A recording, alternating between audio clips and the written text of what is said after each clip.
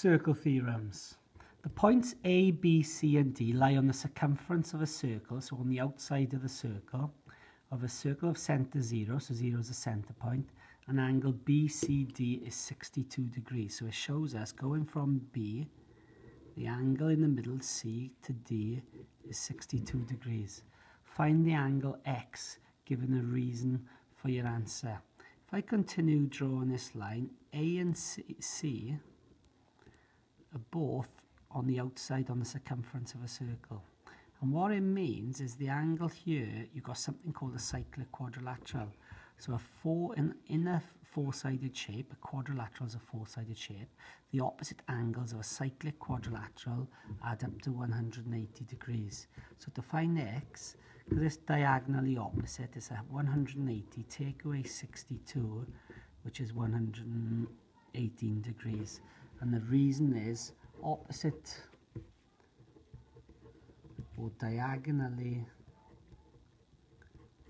opposite angles in the cyclic quadrilateral add up to 180 degrees. Right, find the angle Y. Y now? Is at the center of the circle, and when you're looking at the center of the circle, the angle subtended at the center, so the angle enclosed at the center, so the angle subtended at the center is double the angle on the outside, the angle on the circumference of the circle. So it's two times the angle on the circumference of the circle. So what that actually means now, you've got to decide which way is pointing. If I do the arc here, BAD, and go to O, that angle this side of the line is double 62. So if I'm doing that, you could either say double 62 is 124. So this angle here is 124. And then because it makes a full turn, you could do it as 360 take away 124 because angles at the point to a full turn is 360.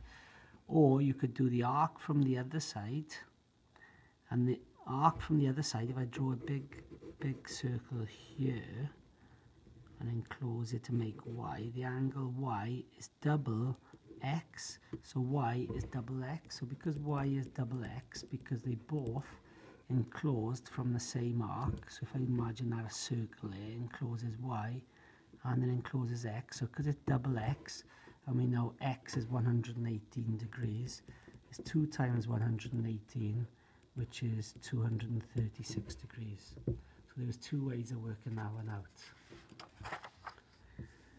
Right, question number two.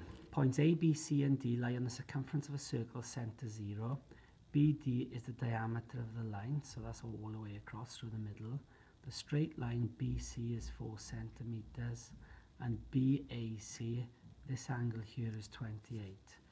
Write down the size of BDC.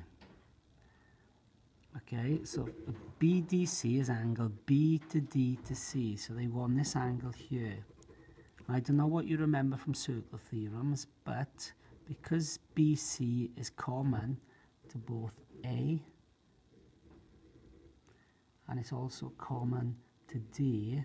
These two angles on the outside are both the same. So BDC, so angle D is going to be 28 degrees. Hence, calculate the length of BD. What I have here, you might recognize, because it's a diameter of a circle, the other angle in a, in a circle is always a right angle triangle.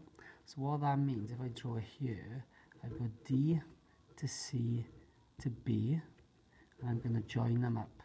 And that means if this angle here is 28, this angle here is 4.7, what I have now is one angle C, and if I join that in, that makes a right angle triangle.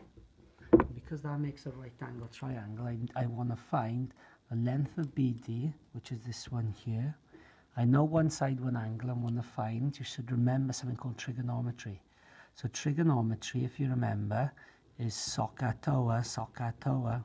So when you're dealing with SOHCAHTOA, you label a triangle. The side opposite the right angle is the longest side and that's called the hypotenuse. The side opposite the angle given or what you want to find is called the opposite. And the third side called the adjacent.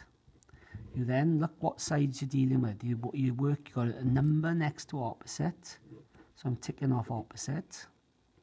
And then you've got a question mark, you want to find the hypotenuse. So I'm ticking off H. So O and H, so I'm using so. So what so means, it means sine of the angle. So sine 28 is equal, O is next, so O is next, which stands for opposite, over h is last and goes on the bottom which is hypotenuse.